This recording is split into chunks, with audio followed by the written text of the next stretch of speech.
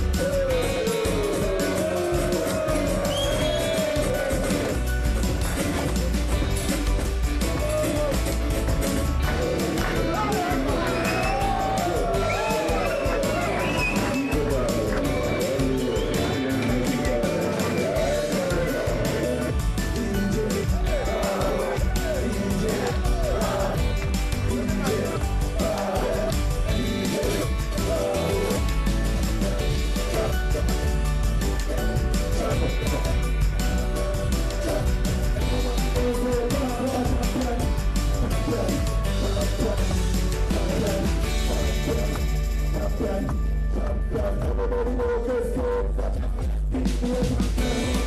you.